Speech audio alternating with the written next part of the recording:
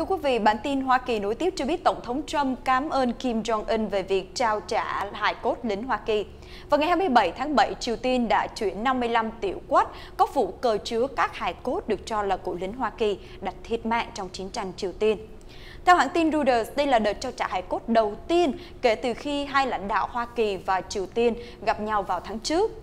Việc hồi hương hài cốt của các binh sĩ Hoa Kỳ tham gia chiến tranh Triều Tiên từ năm 1950 đến năm 1953 được xem như là một chiến thắng ngoại giao khiêm tốn cho Tổng thống Hoa Kỳ Donald Trump. Vì đây là một trong những thỏa thuận đã đạt được trong cuộc gặp với lãnh tụ Triều Tiên Kim Jong-un tại Singapore vào tháng 6.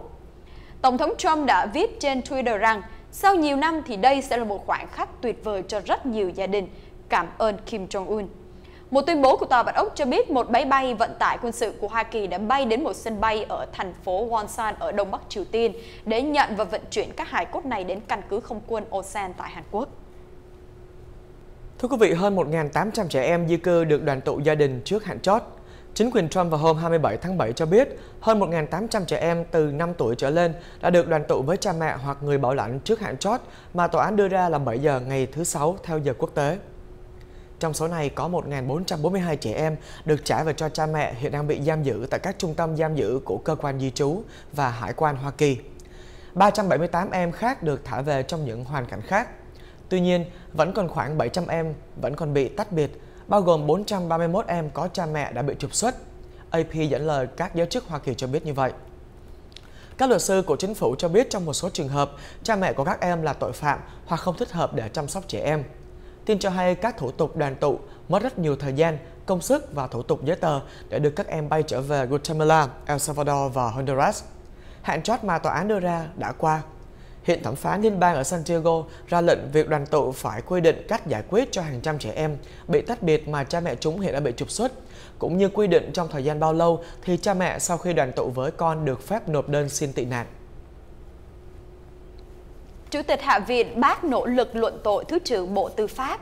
Chủ tịch Hạ viện Hoa Kỳ Paul Ryan vào thứ Năm đã bác bỏ một đề xuất của một số nghị sĩ Đông đảng Cộng hòa nhằm luận tội Phó Bộ trưởng Tư pháp Rod Rosenstein, quan chức số 2 của Bộ Tư pháp, người giám sát của điều tra liên bang về vai trò của Nga trong cuộc bầu cử Tổng thống 2016. Một nhóm các nghị sĩ Cộng hòa tại Hạ viện vào thứ Tư đã giới thiệu các điều khoản luận tội nhằm phế truất ông Rosenstein, leo thang một cuộc chiến liên quan tới cuộc điều tra của công tố viên đặc biệt Robert Mueller về việc liệu ban vận động tranh cử của Tổng thống đảng Cộng hòa Donald Trump có bắt tay với Moscow để khuân đảo cuộc bầu cử Tổng thống 2016 hay không.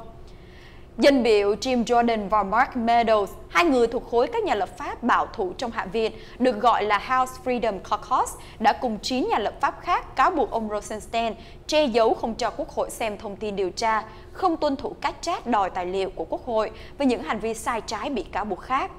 Theo lịch trình, Hạ viện sẽ bắt đầu nghị giải lao bắt đầu từ thứ Năm cho tới tháng 9. Thưa quý vị, nạn nhân khủng bố 11 tháng 9 được nhận diện sau gần 17 năm Nạn nhân Scott Michael Johnson vừa được xác định danh tính nhờ công nghệ mới có thể tách ADN từ xương, dù mảnh xương đã được tìm thấy ngay sau vụ nổ khủng bố ngày 11 tháng 9 năm 2001. Tờ New York Times ngày 26 tháng 7 đưa tin, cơ quan khám nghiệm y khoa thành phố New York vừa công bố danh tính một nạn nhân của vụ khủng bố tại Trung tâm Thương mại Thế giới gần 17 năm trước. Kết quả xét nghiệm DNA cho thấy Scott Michael Johnson, nhân viên phân tích an ninh 26 tuổi tại ngân hàng Kifif, khi đó đang làm việc trên tầng 89 của tòa tháp phía Nam. Johnson là nạn nhân thứ 1.642 trong số 2.753 người thiệt mạng trong vụ tấn công khủng bố đã được nhận diện. Trước đó, một nhóm các chuyên gia từ năm 2001 đã nhiều lần cố gắng xác định một mảnh xương thu được từ đống đổ nát nhưng không thành công. Mới đây, họ sử dụng kỹ thuật mới có thể tách DNA từ xương và so sánh với dữ liệu chứa 17.000 mẫu tham gia mà gia đình các nạn nhân đã cung cấp.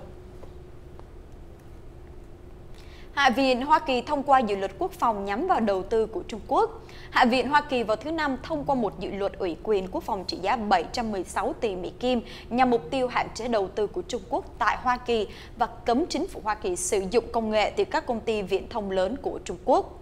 Đạo luật ủy quyền quốc phòng John S. McCain cũng phải được Thượng viện phê chuẩn, thông qua ở Hạ viện với tỷ lệ là 359-54. Dù dự luật này áp đặt kiểm soát lên các hợp đồng của chính phủ Hoa Kỳ với công ty ZTE và Huawei Technologies, thì những lo ngại về an ninh quốc gia song các hạn chế đã yếu hơn nhiều so với khi chúng được soạn thảo vào lúc đầu.